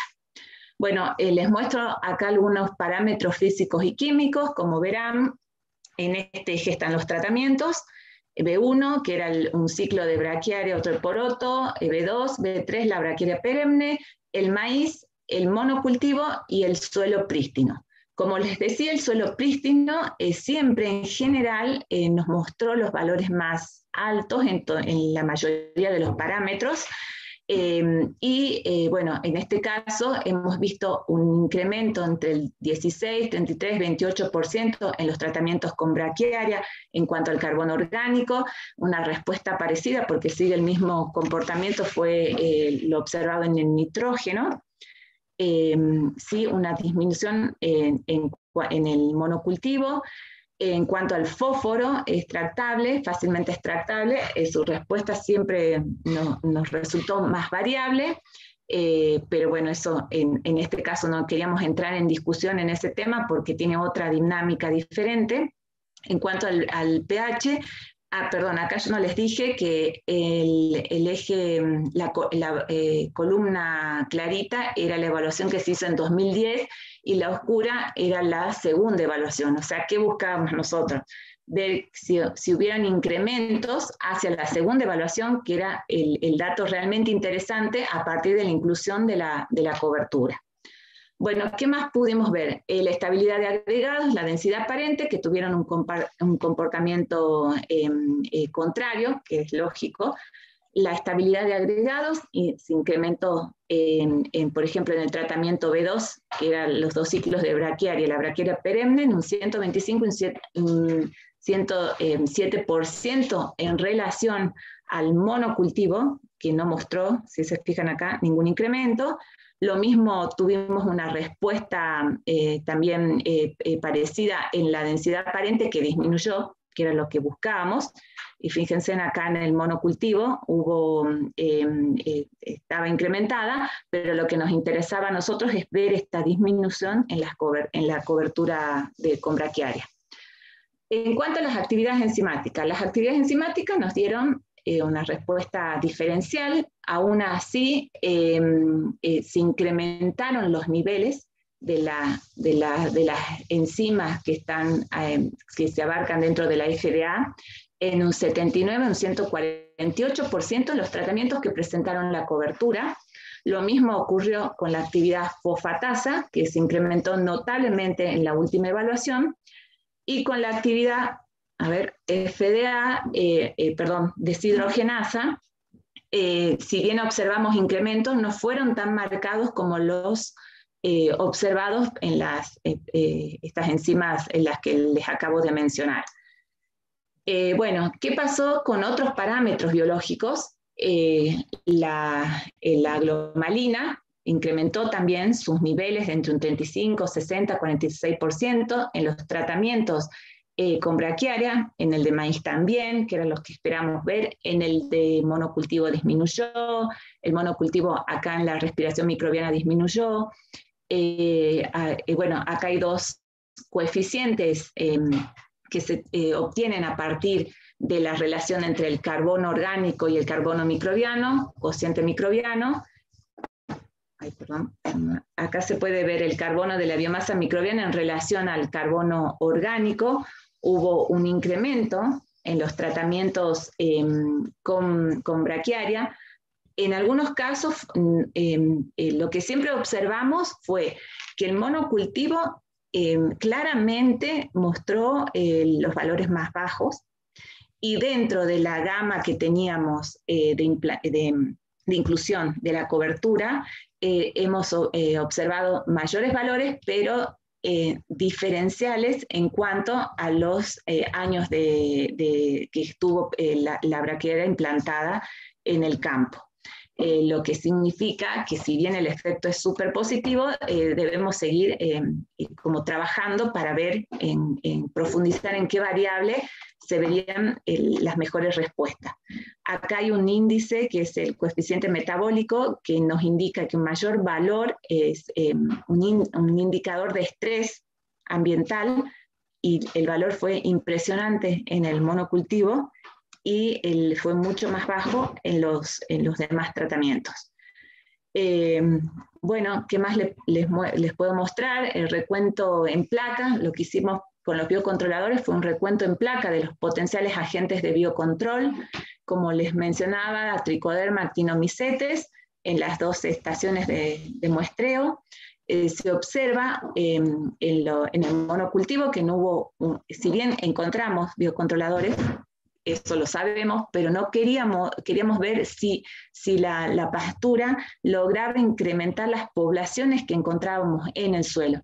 Porque si lograba incrementar las poblaciones, como ocurre en el caso de los actinomicetes y de tricoderma, que fueron los únicos dos que vimos incrementos, no así lo observamos en el, en el caso de Gliocladium, significaba que íbamos a tener una mayor, una mayor eh, población de estos microorganismos y potencialmente si mejoramos la calidad de ese sistema, en el cultivo de poroto íbamos a ver menor, eh, eh, o sea, era nuestra hipótesis, ver una menor incidencia de enfermedades causadas por hongos de suelo. Entonces, ¿qué, ¿qué, pasó en el cultivo de poroto cuando se hicieron las evaluaciones de enfermedades en el cultivo, no en el suelo? Observamos que en el monocultivo eh, la presencia en el cultivo de estas enfermedades. Macrofomina faciolina, Sclerotium rolsi, eh, Rhizoctonia solani, Fusarium sp, no logramos determinar cuál de los fusarios, pero era muchísima, mucha em, eh, cantidad de incidencia en el monocultivo, bueno, acá en el suelo no, porque no, no teníamos poroto, en el maíz habían disminuido, y sí se observó que el poroto sembrado sobre la braquiaria, si bien presentó enfermedades porque no era que no, no, no, no queríamos no verlas, pero sí la incidencia disminuyó en un 50% y en algunas situaciones eh, totalmente. Eh, bueno, eh, siempre me gusta eh, hacer un análisis de coordenadas principales para ver cómo todos estos parámetros, porque nosotros en el grupo trabajamos mucho con las correlaciones de Pearson para ver los, qué relación tienen entre los parámetros físicos, químicos y biológicos, y los tratamientos, vemos que los tratamientos con braquiaria se, centraron en un sector del biplot, mientras que el monocultivo, eh, con sus parámetros asociados, eh, se concentró en otro lugar y así lo hizo también el suelo prístino. ¿Por qué no, no, no, no considero que sería eh, bueno incluir en estos análisis el suelo prístino? Por este motivo, porque en estos gráficos lo que vemos es una discriminación clara entre el suelo prístino, el monocultivo y los tratamientos. Ya, ya sabemos qué ocurre en un monocultivo, qué ocurre en un suelo prístino, pero si yo quiero mejorar el suelo, quiero ver qué está ocurriendo acá y cómo discriminar estas variables, estas, estos tratamientos, entonces debería eliminar estas dos situaciones para ver qué variable tiene más peso en la separación de estos tratamientos. Eh, bueno, esa es una idea que, que se puede ir haciendo en, eh, en el tiempo con, con, otras evaluaciones. Eh, bueno, entonces, como para concluir, el uso de cultivos de servicio, en este caso eh, el, empleo de Brachiria brisanta, aumentó el, el, contenido de carbono, aumentó la disponibilidad de macronutrientes, disminuyó la densidad aparente del suelo y mejoró la estabilidad de agregados, disminuyó la degradación física del suelo a partir de, de la evaluación de estas variables, aumentó la actividad microbiana, aumentó el contenido de carbono de la biomasa microbiana y la eficiencia microbiana en el uso de estas fuentes carbonadas, mejorando su funcionalidad. Y eh, aumentó la cantidad de microorganismos potencialmente biocontroladores que nos permite una disminución eh, de modo indirecto de las enfermedades causadas por hongo de, de suelo. Yo acá no lo incluí, pero el rendimiento del cultivo, que es eh, bueno, importante incluirlo, eh, fue mayor en, el poroto que estuvo sembrado sobre la cobertura de braquiaria. Bueno, estos efectos fueron mayores cuando se usó braquiaria, no podemos discriminar efectivamente con cuántos años, si bien vimos que la braquiaria perenne había favorecido mayormente en relación a los demás, pero eh, no siempre se dio en todos los parámetros evaluados, lo que sí, en comparación al uso de maíz, fue más eficiente en, nuestro estudio. Eh, bueno, eso es todo. Muchas gracias.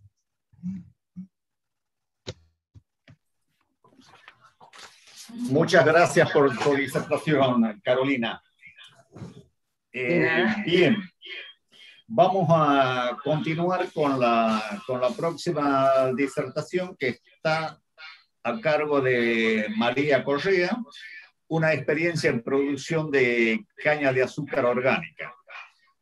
Mari es ingeniera agrónoma, egresada de la Facultad de Agronomía y Zootecnia de la Universidad de Tucumán. Es Master of Science en, Agronomía con orientación a Ciencias del Suelo de la Universidad de Nuevo México en Las Cruces, Estados Unidos. Eh, durante, su durante su desempeño profesional trabajó en la experimental Catamarca de Lita y en la experimental Famayá, donde fue jefa de división del grupo de recursos naturales y responsable del laboratorio de suelos y agua y material vegetal del INTA Famayá. Sus áreas de incumbencia fueron la fertilidad de suelo y nutrición vegetal, riego y uso del agua manejo de sustrato para la producción de plantines de pimiento para pimentón. Actualmente es asesora técnica en producción orgánica de caña de azúcar en agricultura de Gales, eh, sociedad civil. Mari, un gusto tenerte nuevamente entre nosotros. Tu turno.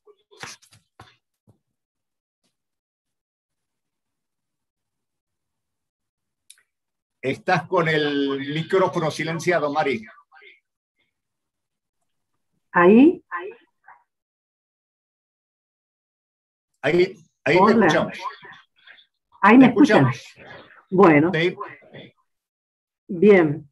Eh, buen día, muchas gracias por la invitación. Yo voy a hacerles un comentario breve de lo que es la experiencia de producción de caña orgánica en el departamento de Leales en, Tucumán desde el año 2018.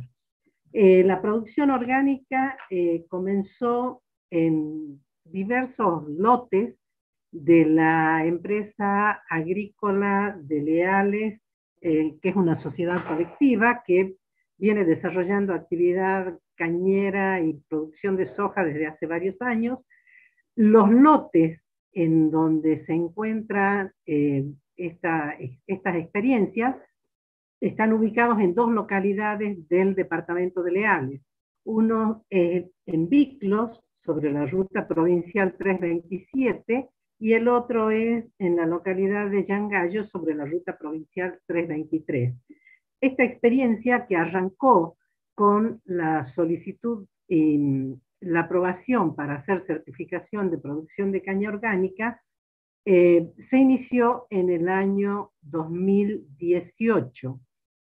En general, eh, la producción eh, está destinada a la producción de azúcar y em, fundamentalmente se entrega al ingenio Providencia. Como Providencia había comenzado con la producción de caña orgánica ya hacía un tiempo en sus lotes, en el 2017 invitó a algunos productores si estaban interesados en acoplarse a esta experiencia. En la firma se decidió que sí y comenzamos eh, con esta experiencia para certificar bajo la norma NOP, que es una certificación de las regulaciones orgánicas del USDA en la parte del 205. Eh, los lotes que se eligieron para, para comenzar la experiencia, que eh, comenzaron con 141 hectáreas en ese momento y para la campaña 2021 se ha llegado a 163 hectáreas, venían ya de un tratamiento, em, digamos, em, no orgánico eh, certificado, pero sí con un manejo orgánico. ¿Por qué? Porque para acceder a estos, em, a los beneficios de la certificación por esta norma, por lo menos los lotes debían tener tres años sin tratamientos químicos. Por lo tanto, se tomaron lotes que tenían esas características. Yo les voy a comentar, si bien son diferentes lotes, eh, yo voy a centrarme eh, más o menos como para que tengan una idea en un lote de la zona de Biclos y un lote de Yangayo. Ambos eh, sitios son, están en zona de producción cañera, pero tienen características desde el punto de vista de suelos diferentes. Mientras los suelos de Biclos son suelos en general sin, sin limitaciones desde el punto de vista físico y de salinidad o sodicidad, en general son suelos em, medianamente sueltos, son suelos franco, franco-limosos, pero con un porcentaje interesante de, de arenas, por lo tanto ahí no hay limitantes para, la, para el desarrollo radicular. Mientras que en la localidad de Yangayo, si bien también son suelos franco-limosos, ahí hay un mayor predominio de arcillas en el subsuelo, lo cual hace que en algunos momentos haya problemas de saturación y de anegamiento en los suelos y a su vez también son suelos que tienen una característica de eh, ser salinos sódicos y en algunos, en algunos sectores directamente sódico en profundidad. Entonces se comenzó la, la experiencia en, ambos, lugares, con, em, en, el año 2018 se arrancó, y estos dos lotes particulares, ¿por qué los considero? Es porque em, venían en, para hacer en el 2018 cosecha de caña planta, o sea que los dos estaban en igualdad de condiciones. En ese momento, eh, la, eh, la variedad con la que con la que se trabaja es el SP85384.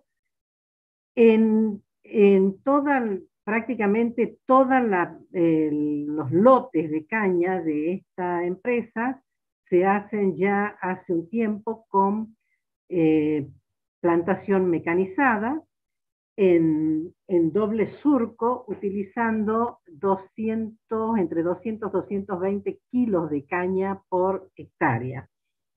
En todos los lotes, en todos, se hace el cultivo y el mantenimiento de lo que es eh, para el control de malezas en forma mecánica y manual, porque no se puede aplicar ningún herbicida. En este momento se están probando en algunos lugares este, ver qué alternativas de herbicidas podrían usarse, pero hasta el momento no hay una, no hay una difusión de esto. Por lo tanto, todo lo que se hace es mecánico y manual. En el momento en que la caña comienza a cerrar, si hay algo de malezas, se hace, eh, se hace todo con mantenimientos eh, manuales.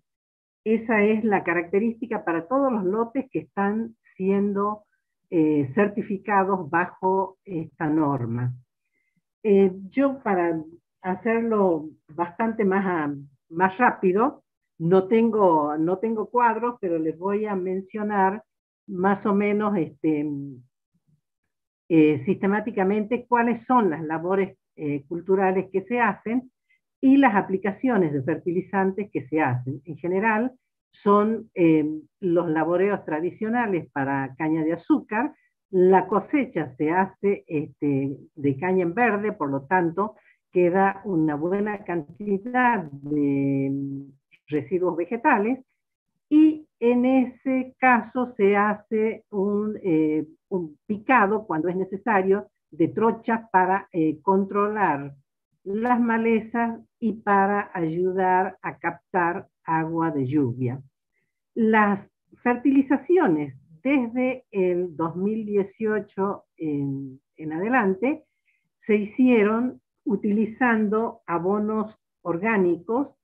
Eh, en un principio se utilizó el DIX, que es un, producto con un 9% de nitrógeno, que se aplicaba con una fertilizadora que a su vez también hacía este, un cultivo, o sea que era una doble labor, fertilización y control de malezas. Eso eh, se usa, eh, la dosis que estaba aplicándose era de un kilo y medio por cada surco de 100 metros. En algunos lotes, em, a, partir de en el 2019, se hizo aplicación de Nutribacter como fertilizante foliar aplicados con fumigadoras en una dosis de 10 litros por hectárea.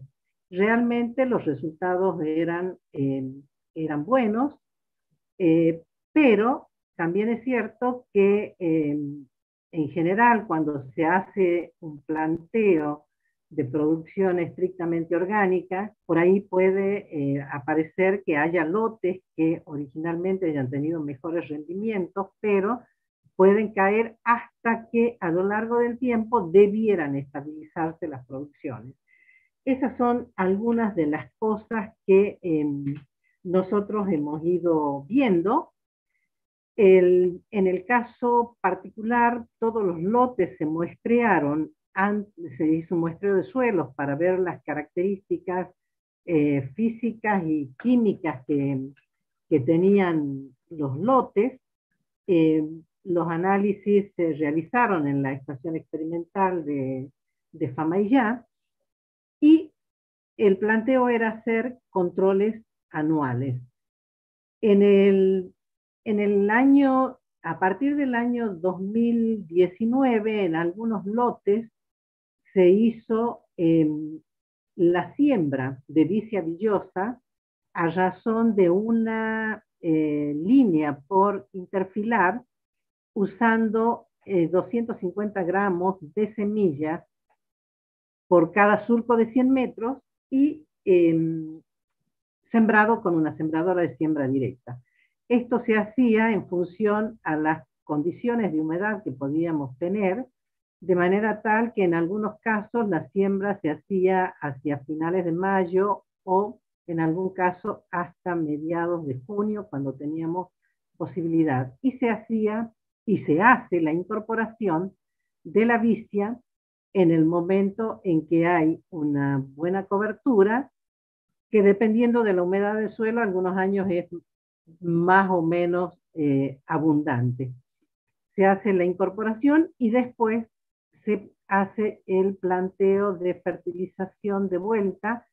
Hasta la campaña pasada se usaba el DIC y a partir de la campaña pasada se usa un, producto que es em, exactamente que es igual que, que el DIC en cuanto a, la, a los contenidos de nitrógeno, es este, un nitro, ya, ya les comento bien el nombre porque no lo, no lo tengo, no lo retengo todavía, es un, es un producto orgánico que está aprobado, obviamente todos los fertilizantes tienen que estar aprobados, es el Biorganucha Nitro Plus. En este caso, esto se comenzó a aplicar desde la campaña pasada y eh, a razón de 2 kilos eh, de producto por cada 100 metros, también aplicado con una fertilizadora que hace las veces, fertiliza y hace el cultivo para el, primer control de maleza. En general, esto es para todos los lotes que están bajo producción orgánica. Respecto a en, los lotes de biclo, como tienen mejores características de suelo, no había, no hubo grandes problemas, pero sí aparecieron problemas en la localidad de Yangayo, donde los suelos eran más pesados y que, y que tenían problemas de sodio. En esos lotes, lotes de eh, un lote en particular de 45 hectáreas, en el, si bien habíamos comenzado en el 2018, eh, hubo que hacer un decepado de una parte del lote para poder em, recuperarlo. En ese caso, esa parte del lote, en vez de tener una aplicación, una siembra de vicia en línea, se hizo una aplicación de del cultivo de cobertura de la vicia en forma total, usando 25 kilos de semilla por hectárea. Eso eh, se incorporó, esa siembra se hizo en junio, se incorporó hacia octubre, noviembre, e inmediatamente después se hizo una siembra de sorgo forrajero con el objetivo de ver si se mejoraba un poco las condiciones. Una vez que se incorporó el sorgo en el, en el mes de marzo, se comenzó a hacer la preparación para hacer una, una nueva plantación de ese sector y en ese caso se utilizó ya la variedad, la tucumana 7742. Eh, una vez que estuvo em, estabilizado y todo, todos los controles del lote siguieron la misma normativa con la fertilización después de cosecha, de manera tal que em, en, este, en estas circunstancias mejoraron los rendimientos. Em, eh, yo les voy a mencionar para este caso, para este caso particular de este, de este lote, que pasó a tener rendimientos después de este tratamiento, de haber hecho, si bien es cierto, no está cosechado el sector renovado y que había tenido esta doble incorporación de, de abonos, digamos, o cultivos de servicio, ¿Por qué? Porque no se puede, una vez que se cosecha, entra, entra todo y es difícil eh, manejar esos, esa separación de, variedades, por lo tanto, pero pasó a tener eh, producciones que y fueron previo, previo a, a estos tratamientos, era un lote que había rendido un total de 1.220 toneladas. Después del primer año del tratamiento, llevó su producción a, em, a 2.300 toneladas y en la última cosecha, que se hizo en mayo de este año, mejoró notablemente a 3.900 toneladas. Evidentemente, y esto es lógico esperar en, las aplicaciones de cultivos de servicios, que los efectos mejoradores no se den en forma inmediata, sino que van mejorando en forma paulatina.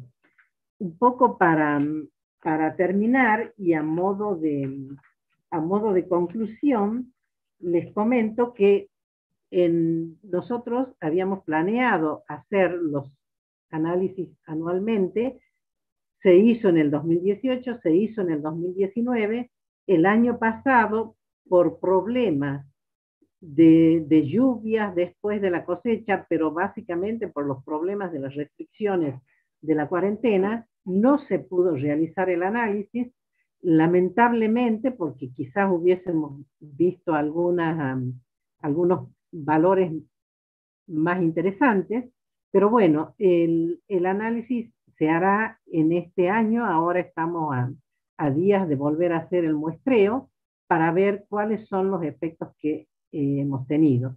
En el análisis del 2019, en aquellos lugares donde se había incorporado la vicia, se notó levemente una mejora en los valores de materia orgánica y nitrógeno total en las capas superiores. Eh, mejoró también un poco en el subsuelo, entre los 30 y 60 centímetros, pero los efectos más visibles estaban en las capas de 0 a 30 centímetros. Eso pasó en todos los lotes que habían tenido la vicia como cultivo de servicio y había sido incorporado. En este momento ya está sembrada de vuelta la vicia y se ha hecho prácticamente en todos los lotes que están bajo, em, la certificación. Les comento cómo, cómo ha evolucionado la producción desde el año 2018. Eh, les doy valores totales para toda la superficie de los lotes, no específicamente para estos dos, pasó en el año 2018 de 6.000 toneladas a 8.000 en el 2019, a 10.000 en el 2020 y en esta campaña nos sorprendimos gratamente porque tenemos más de 16.000 toneladas de producción.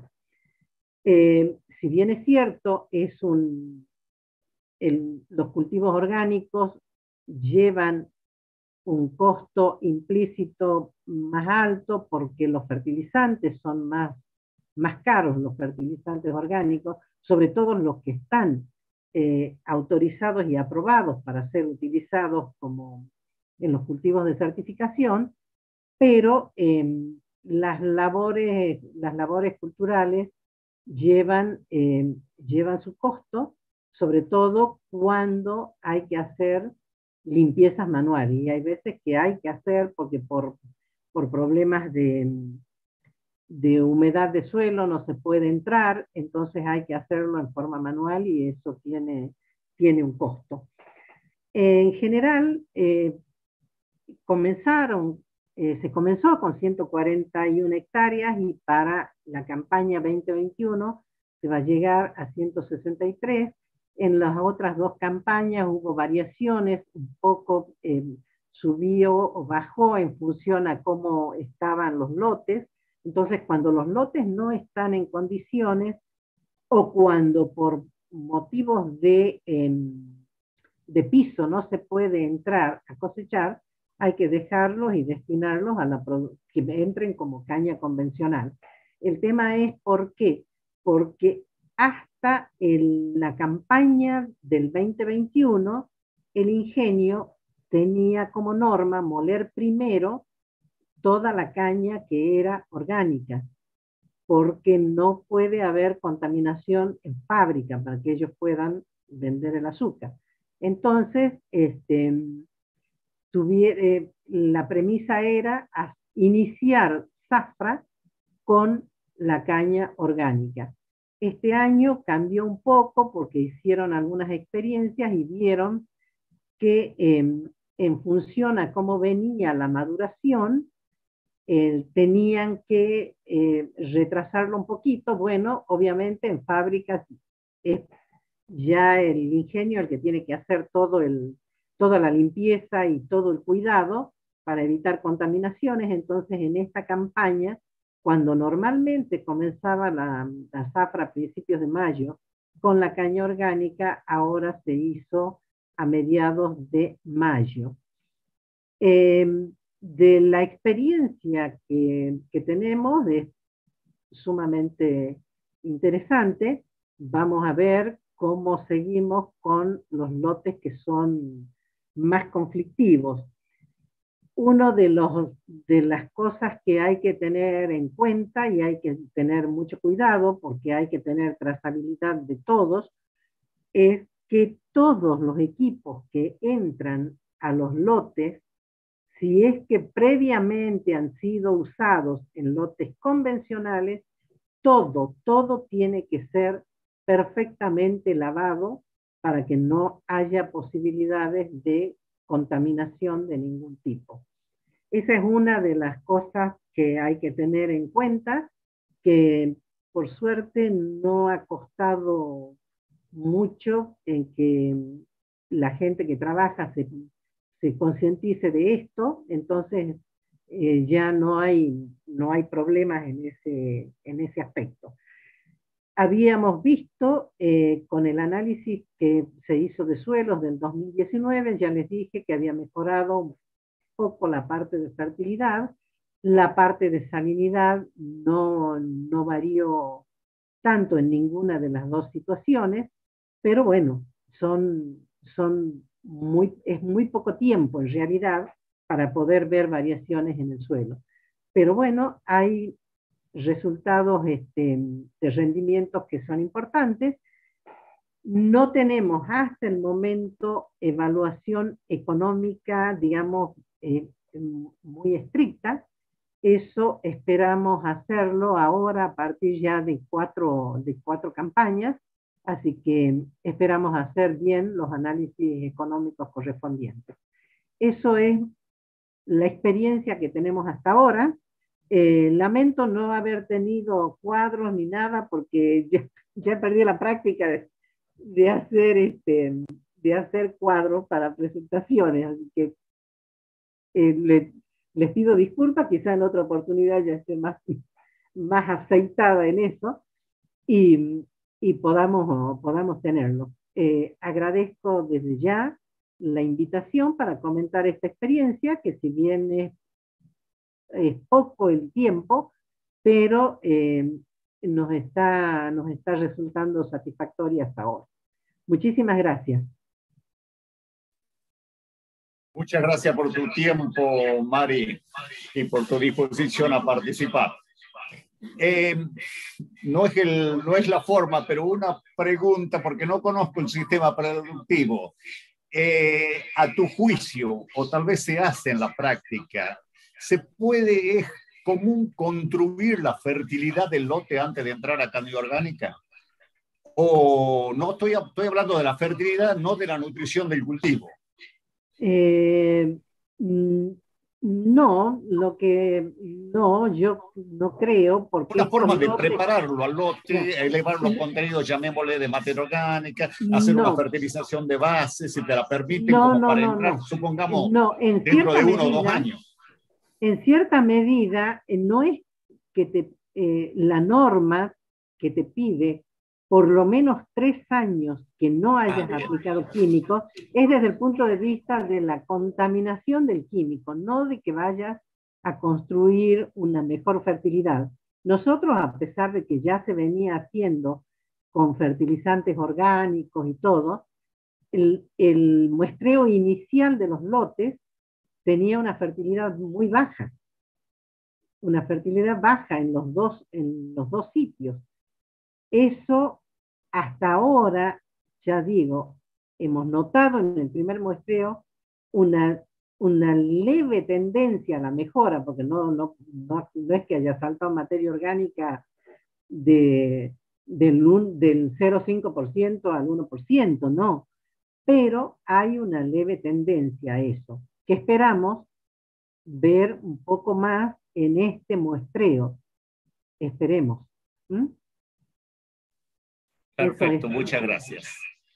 Eh, vamos a continuar con algunas eh, preguntas que tiene Mari para, para algunos de los expositores. Bien. Bueno, acá hay preguntas para Carolina.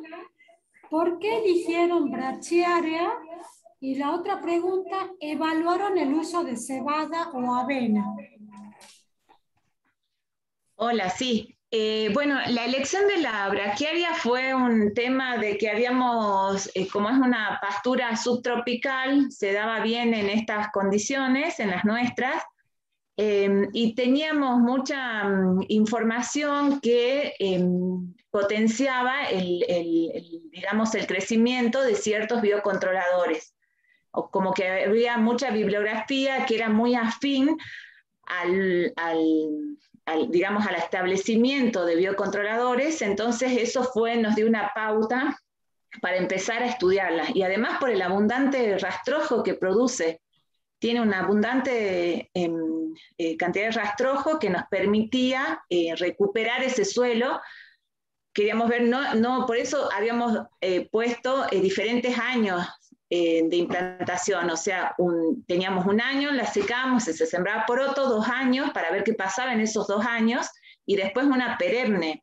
Pero en el transcurso de los tres años, nosotros ya empezamos a ver que se mejoraba, por ejemplo, la estabilidad de agregados y se incrementaban había algunos biocontroladores respecto al monocultivo que no tenía nada, venía de un barbecho químico.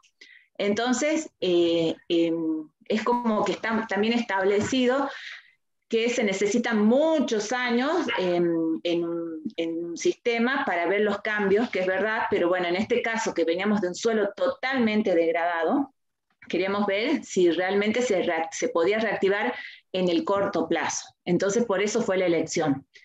Y la otra pregunta, no me acuerdo. Ah, si estamos evaluando otros tipos de cultivos de servicio. Eh, sí, por ejemplo, ahora tenemos un ensayo en la experimental donde hay avena, trigo, eh, vicia, hay uno consociado vicia más avena, melilotus y bueno, tenemos la misma braquiaria que, la, que se eh, no se resembró, pero se volvió a sembrar en una parcela que está, está diseñada tal fin. Bueno, de eso recién vamos tres años, así que eh, todavía mm, tenemos los datos, pero no los hemos evaluado. No sé si respondes la pregunta. Sí, sí creo que responde a la pregunta.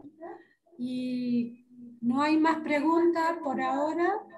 Eh, muchas gracias a los que han aceptado presentarnos los, trabajos, compartir sus trabajos y damos por cerrada esta jornada para ir preparándonos para unas próximas jornadas, eh, ya eh, específicamente para profesionales eh, que se está armando otra posibilidad donde invitaríamos a gente de CONICE, de las universidades, eh, relacionado a trabajos de, de bioinsumos.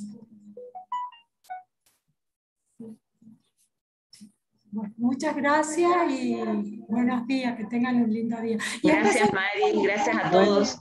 De los del canal de YouTube que, que también han participado, este, los están acompañando. También saludos a ellos y gracias.